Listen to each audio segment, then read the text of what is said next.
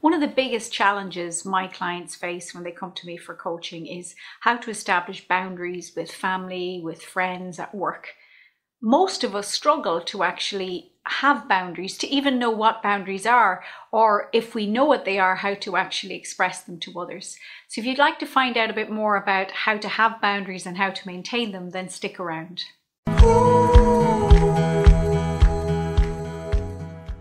Hello, my name is Elfreda Manahan Vaughan of Metta-morphics, and this video series, Under the Circumstances You're Totally Freaking Normal, is for people who've experienced some kind of highly stressful life event or challenge in their life and wonder sometimes if their reactions and the way that they think are actually normal. And I always say to them, under the circumstances, they're totally normal. Because if you're here and if you're still thriving or you're still surviving, then you're doing okay. This video is about boundaries. Now, I've delivered trainings on boundaries and I work with clients all the time supporting them in developing boundaries.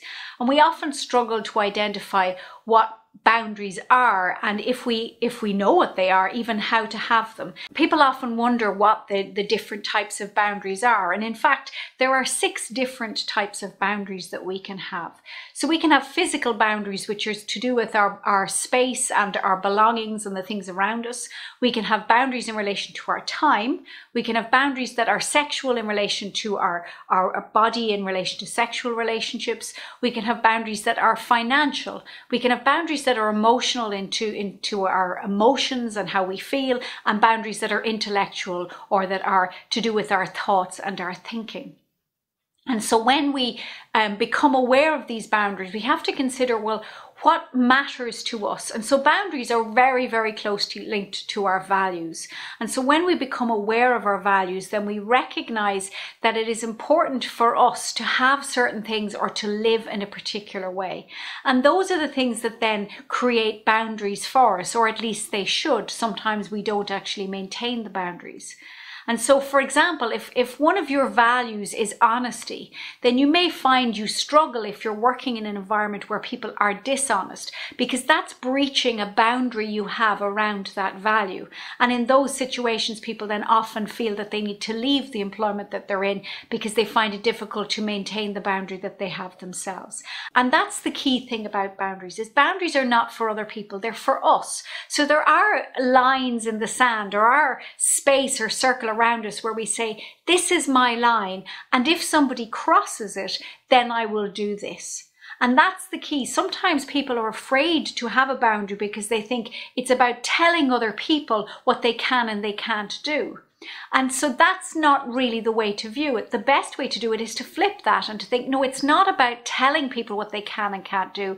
It's about me recognizing what I am okay with, what I am comfortable with. And so when we want to establish boundaries, then we need to be very clear with other people about what those boundaries are.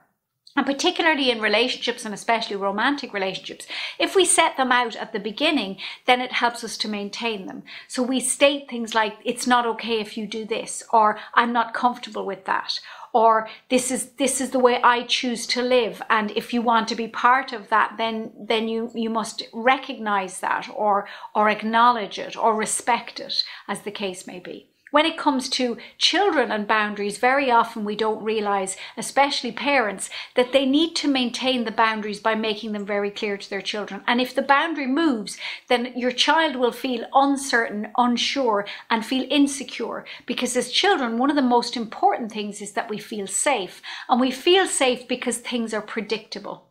This comes from attachment theory, which you've heard me mention in other videos and I've delivered training on, that we need to recognize that our attachment, it becomes secure because of consistency and because somebody shows up the same way all of the time. And so if, as a parent, you have boundaries and then you move them, then that creates inconsistency and it creates uncertainty. And so that's the same for all of us. So if we say that this is the particular rule in our home, that rule can't change except except under exceptional circumstances. And one of the key pieces of advice they give for parents is that if you're going to change a boundary, you should change the boundary because your child has earned that change. So not because they've grown up, like it's not you'll get a mobile phone when you're 10 or 11 or 12, it's you'll get a mobile phone when you're mature enough to have a mobile phone. And those kind of boundary changes are very, very healthy for children because it puts them in a place of control. And so when it comes to us, we have to think, well, what are the things that I feel comfortable with? And if I'm not comfortable with them, how do I express that to other people? And one of the key things is to be open and honest at the outset.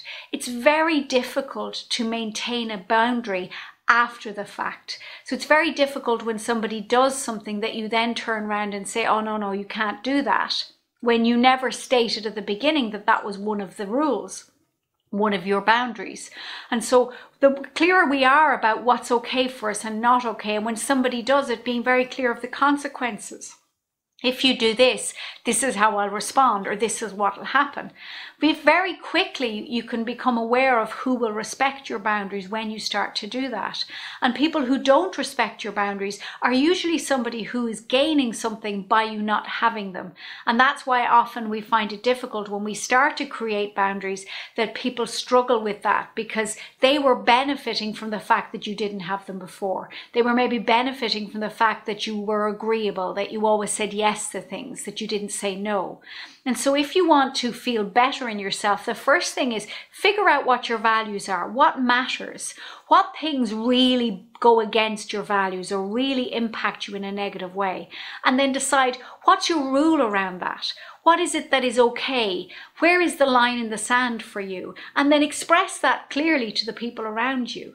And if you learn to communicate effectively and communicate in a way that is empathetic, is respectful, and is open and honest, then people inevitably will respect that unless they're gaining from you not having a boundary one of the things I work with my clients when we work on boundaries is helping them to learn how to communicate those boundaries, helping them to recognize them and understand their values so that they, they can express them. And this is really important for people who've experienced some kind of trauma or had some kind of highly stressful life event, because very often we can experience a lack of boundaries. I know certainly for me, growing up at home with domestic violence and, and alcoholism and, and experiencing narcissism from, a, from quite an early age, stage in my lifetime, I struggled to recognize my own boundaries because I always felt that I was responsible for other people. I felt that their happiness was my responsibility, which it isn't.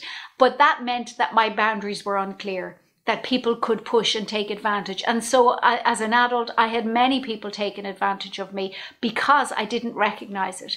Things are quite different now, and I do work on my boundaries all the time. And it's important that we recognize the different types that you may have a boundary around certain aspects of your physical home and your body that you know is different to your financial or different to time but we do need to recognize the boundaries because people will inadvertently take advantage of them when they don't know that they're there so if you want to find out more about how to communicate your boundaries more effectively, then please get in touch. I'm more than happy to do a free 30 minute session with you to figure out if I can help you as a coach.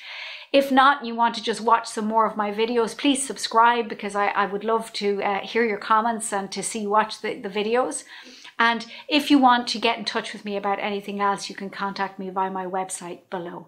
And remember, if you're here and you're doing okay, if you're managing and you're still maintaining your relationships and figuring things out in your life, then under the circumstances, you're totally freaking normal.